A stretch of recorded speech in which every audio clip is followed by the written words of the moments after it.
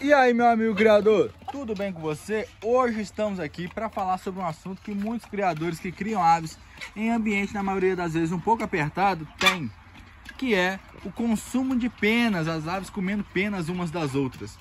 Hoje estamos aqui na nossa aula de melhoramento genético da galinha caipira, onde é feito o cruzamento das galinhas balão, dos galos balão com as galinhas de melhoramento. No caso, a gente está usando aqui a Label Rouge e as poedeiras negras.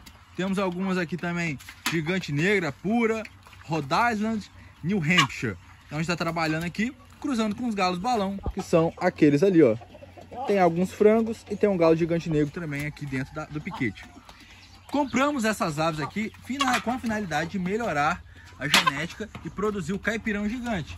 Aves que estão naquela baia ali e aqui temos nossos, nossos balão puro.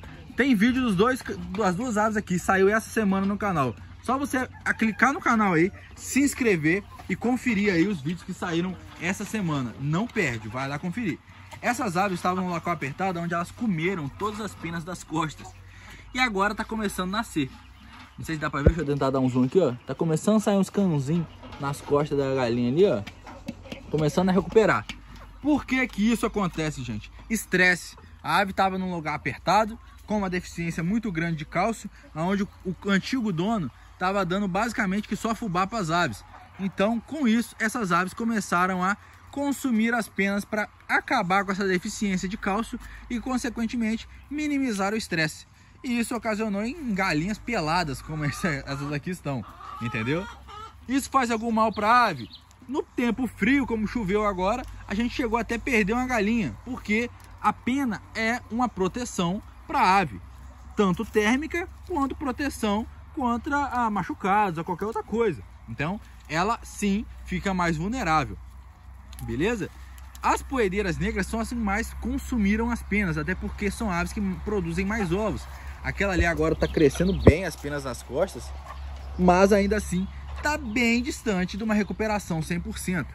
Mas o assunto é como a gente vai pegar e evitar esse problema e recuperar essas aves. Essa é a questão que a gente tem que saber, beleza? Para você fazer isso criando num ambiente como nós criamos, a gente tem tanta opção como a gente está aqui, ó. No caso, as nossas balão, elas ficam presas. Mas você não vê aves arrancando pena. Tá vendo? Todas bem bonitas, bem inteiriças. Entendeu? Olha lá, olha lá. E cruza, hein? E cruza. E cruza. Aô, bicho bruto. Aí vem pintinho. então elas ficam num ambiente fechado. Mas não tem consumo de penas. Por que, Thales? Uma cama muito bem feita. Tá vendo aqui? Uma cama aqui tem com 20 centímetros essa cama de serragem. Então, ela é uma cama muito grande, a ave pode ciscar, ela não fica estressada, ela tem aqui um ambiente para ciscar, tá? Esse é o primeiro ponto, conforto para a ave. Isso é importante. Segundo, alimentação. Nossa ração aí hoje, 100% dela é incorporado com Animax, que contém prebióticos e probióticos, onde melhora o desempenho alimentar da ave, além de conter virginamicina, um, um produto que vai pegar e melhorar o desempenho da ave, fazendo com que ela consuma menos e aproveite melhor todo o alimento que por ela é ingerido, beleza? Produto Shop do Campo disponível para todos vocês no nosso WhatsApp 028 992 53 8672. Beleza? DDD 28, número 99253 8672. Manda um zap pra gente que lá você também consegue comprar codorna gigante, ovo fértil e tudo que você precisar. Beleza? Então, segundo pilar, a alimentação, que é um dos mais importantes, que é responsável por 80% do seu custo de produção. Beleza? Conforto, alimentação e terceiro, aves como estão neste caso aqui, elas já estão com um nível de estresse alto e elas precisam recuperar. E além disso, elas adquiriram o vício de consumir pena, entendeu? E esse vício não é tranquilo de se tirar. Por que, que essas aves estão soltas? Elas caíram drasticamente a produção nesse momento. Elas estavam presas, só que presas elas comem pena. Então eu falei, tenho que soltar as aves. Porque aqui a gente tem esse piquete, onde as aves podem ciscar, pode ver aqui, ó, elas ciscam o dia inteiro, o dia inteirinho. E com isso, elas pegam e comem menos ração, porque gastam muita energia e ficam ciscando. Essa ração já era para ter acabado, se elas estivessem num ambiente confinado como elas estavam ali, quando elas chegaram, essa ração não estava no coxo.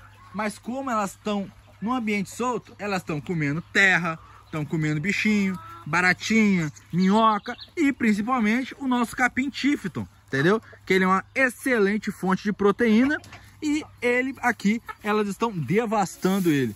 Fonte de proteína e fibra. Com isso, a ave vai desestressar e ela vai recuperar as penas que aqui elas perderam, beleza?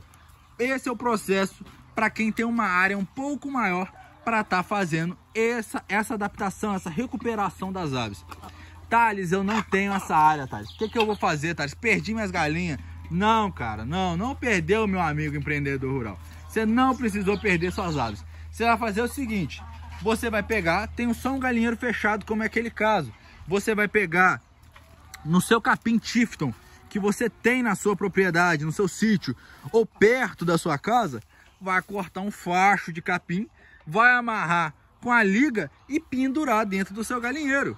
Aonde as aves vão ficar intertidas ali comendo aquele capim, vão estar distraídas, vão fazer a recomposição de proteína e fibra que elas precisam e desestressar, entendeu? Porque esse consumo de pena começa aqui e consequentemente vai quebrar, comer ovo, beber ovo e isso aqui aí acabou sua criação.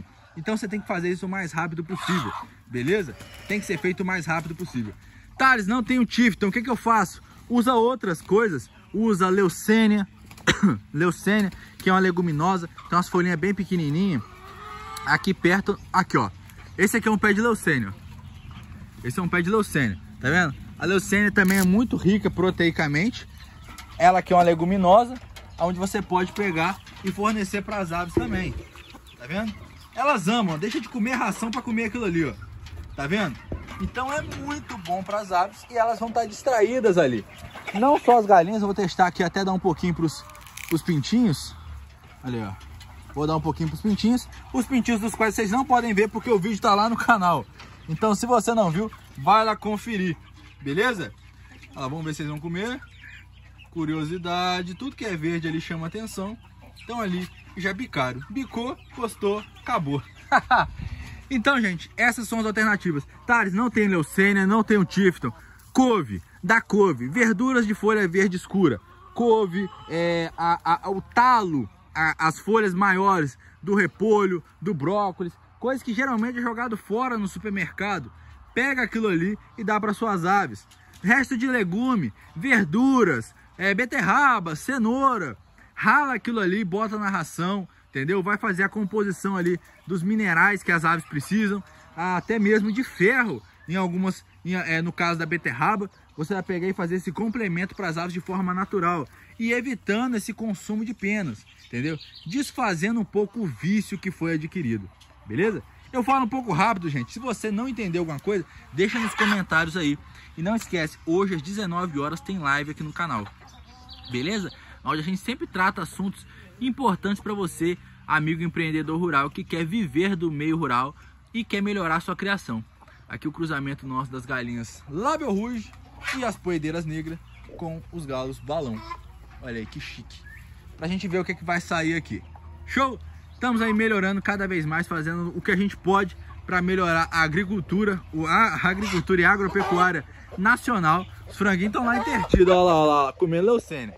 Vai lá, confere o vídeo que, acabou, que saiu essa semana, onde a gente mostra aquela baia lá, mostra a baia de balão, mostra, fala um pouco mais sobre essa ala aqui, desse melhoramento genético, onde a gente explica tudo para vocês, beleza? Nossas aves aqui tem todos os galinheiros muito simples, ó. Estão aqui em aberto, aqui, ó, elas dormem aqui dentro. Ração ali sobrando no coxo. Tá aí uma taxa de alimentação de, na faixa de 120 gramas por ração dia. Mas como elas estão soltas, como eu falei, o consumo reduziu pelo alto consumo de capim, pela, pelo consumo de bichinhos que elas acham, elas acham na terra e com isso melhorando o desempenho das aves. Porém, aves nesse sistema precisam ser adaptadas. As balão botam muito bem soltas. Essas aqui, como estavam acostumadas a botar presa, confinada, ela não está na produção alta. Então elas estão fazendo uma produção muito baixa porque estão em período de adaptação a esse sistema. O gasto de energia minimiza a produção. Então é coisa que você só aprende aqui no canal do Criatório Pessoa, beleza? Meu nome é Thales Pessoa e esse foi mais um vídeo aqui do canal. Espero que vocês tenham gostado. Se você gostou, deixa o dedão no like, se inscreve e até o próximo. Fiquem com Deus, que Deus abençoe todos vocês e que amanhã eu possa contar com a presença de vocês mais uma vez aqui. Forte abraço e tchau!